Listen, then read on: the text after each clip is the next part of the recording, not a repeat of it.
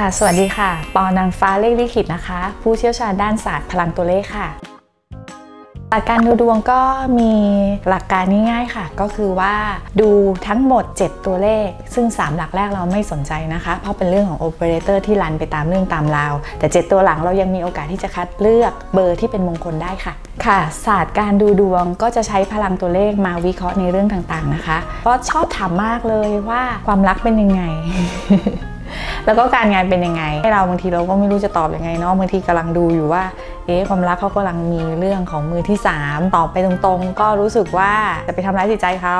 อืมแล้วบางทีอาจจะทำให้มีปัญหาครอบครัวไปทะเลาะกันเองทีหลังอีกคำถามที่จะไม่ตอบเลย ก็มีภรรยามาถามถึงเรื่องสามีค่ะ เพราะว่าทั้งสองคนไม่ว่าภรรยากับสามีเนี่ยติดต่อเข้ามาหาเราเพื่อจะให้เราดูดวงเบอร์โทรศัพท์ และเปลี่ยนเบอร์ให้เขา และนี่พอภรรยารู้ว่าสามี ก็มาดูเบอร์เพื่อจะเปลี่ยนเบอร์โทรศัพท์ อันเนี้ย เราก็จะไม่บอกเขาเลยว่าสามีเขาถามเรื่องอะไร สามีเขาอยากเปลี่ยนเพื่อเป็นอะไร เพราะว่ากลัวเดี๋ยว ปัญหาครอบครัวเกิดขึ้นอีกแล้วโทษหมออีกอ ชอบที่สุดก็คือ 2 3 แล้วก็ 3 2 ค่ะ ชอบความเซ็กซี่เร้าใจ คือมันได้ประโยชน์ในเรื่องของความติดตราตึงใจค่ะ ไม่ว่าใครไม่เคยพบเรา แต่พบเราแล้วจะจำเราได้ทันทีว่านี่คืออาจารย์ปอ นี่คือหมอปอ แล้วก็มันดีในเรื่องของการที่ไปขอความช่วยเหลือใครค่ะ ทุกคนเต็มใจยื่นมือมาช่วยบางทีมาเยอะจนเราเลือกไม่ถูกว่าเราจะให้ใครช่วยเรา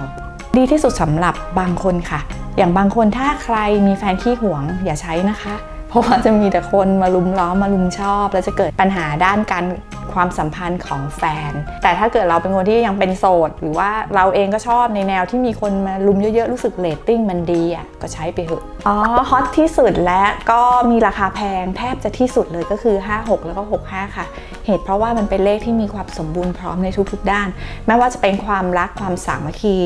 ของครอบครัวนะคะ แล้วก็การทำงานเพื่อนร่วมงานก็ดี เรื่องทรัพย์สินคุณก็สามารถที่จะต่อยอดทรัพย์สินของคุณได้อีกค่ะ ซึ่งเป็นเลขที่มองโลกในแง่ดีด้วย ใครก็อยากได้เลขนี้ค่ะค่ะ ก็คือไม่เอาความลับไปบอกกับคนอื่นๆ สมมติมีคนเข้ามาปรึกษาเราเนี่ยแสดงว่าเขาวางใจในตัวเราแล้วล่ะ เราจะไม่มีทางเอาเรื่องของเขาไปเล่าให้คนอื่นฟังต่อค่ะ ตัวเลขก็ต้องยอมรับว่าเป็น